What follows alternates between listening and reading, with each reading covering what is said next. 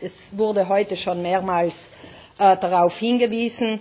Ich sage es auch noch einmal. Ich finde es schade und bedauere es sehr, dass wenn in einem Ausschuss, der sich noch dazu ganz knapp vorher die Unterlagen bekommen hat, seriös mit einer Materie, mit einer sensiblen, wichtigen Materie zu befassen hat, dieser Ausschuss den Antrag stellt, dass man eine Anhörung macht und dieser dann mit fadenscheinigen Argumenten abgelehnt wird. Also ich bedauere das schon sehr und ist eigentlich äh, keine gute Art äh, der Zusammenarbeit, wo ich auch noch einmal betonen möchte, dass es eigentlich schon die politische Minderheit ist in den Ausschüssen, die ein reibungsloses Verfahren, auch ein gutes Klima und äh, eine gute Zusammenarbeit immer wieder ermöglicht.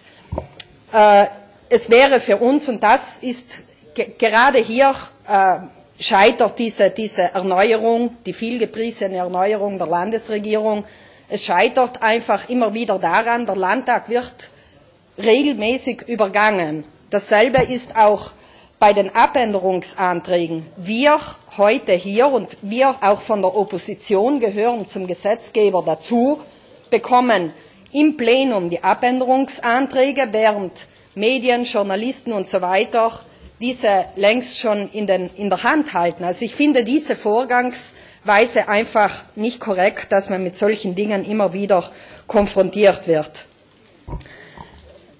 Ich habe manchmal schon das Gefühl, dass der Landtag schlichtweg keine Rolle spielt. Und in den Gesetzen kommt es ja auch immer wieder ganz klar zum Ausdruck, dass man, wir sind hier zwar diejenigen, die einen Rahmen vorgeben dürfen, ein bisschen mitreden, es wird dann sowieso, äh, die Mehrheit zieht ihr Ding durch und dann wird das meiste, das Wesentliche, worum es eigentlich geht, mit Durchführungsbestimmung geregelt. Und ich finde das einfach schade und auch nicht korrekt. Und es wäre gut, die Kritik, die Kollege Böder dem Gesetzgebungsausschuss gegenüber gemacht hat, die trage ich voll mit, die stimmt. Ich habe mich selten in einem Gesetzgebungsausschuss so unwohl gefühlt wie in diesem.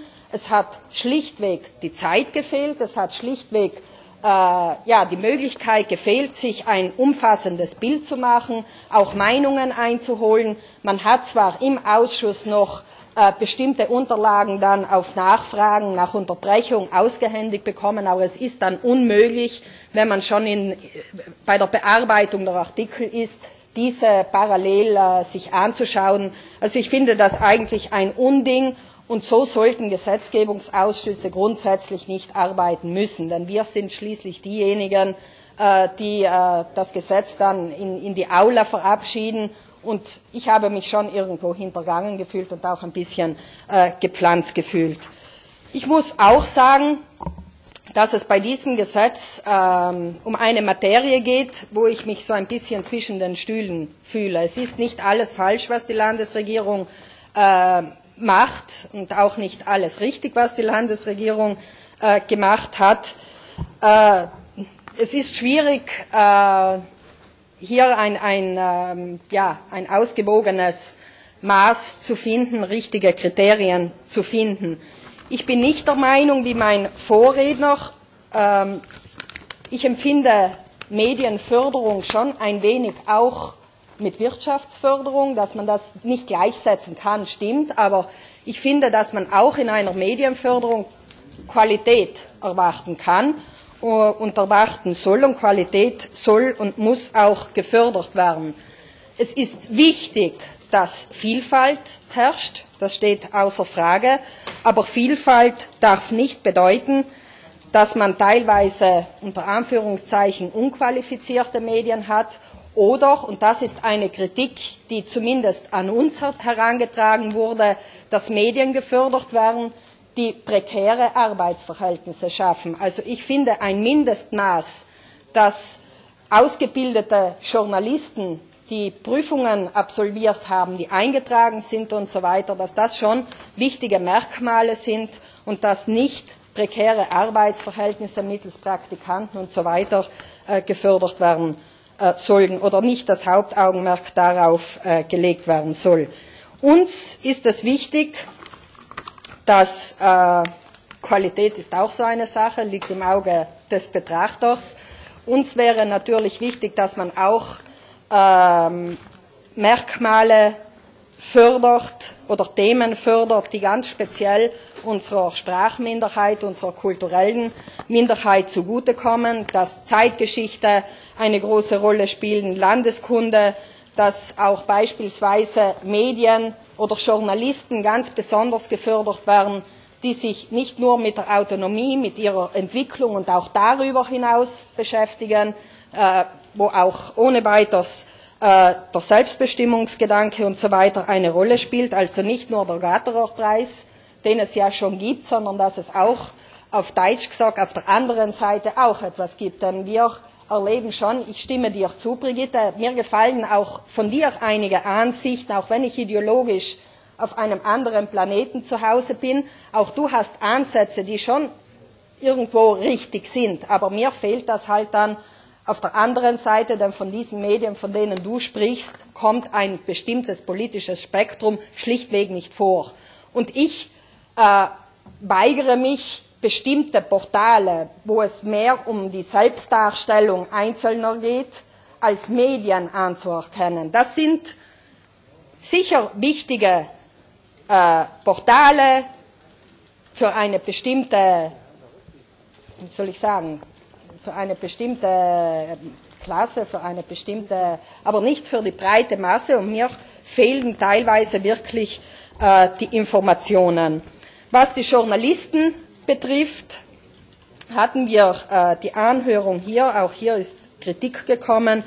Ich denke, das, was uns zugetragen wurde, dort, wo öffentliche Gelder verwendet werden, da braucht es ganz klare Kriterien, sowohl was die Nachrichten anbelangt, aber auch für jene Personen, die die Nachrichten produzieren.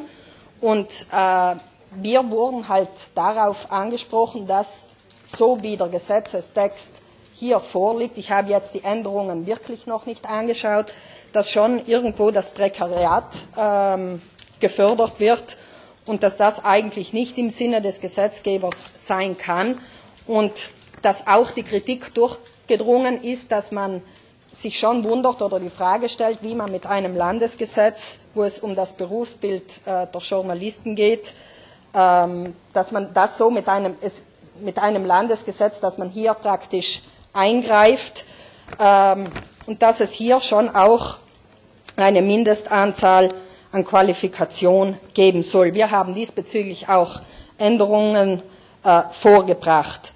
Ein ganz großer Teil der Diskussion, der natürlich herausgepickt wurde, und ich bedauere das, ich bedauere das sehr, das ist jener, wo es um die Kommentare geht. Ich tue mich hier wirklich schwer. Auf der einen Seite das in einem Medienförderungsgesetz drinnen zu haben.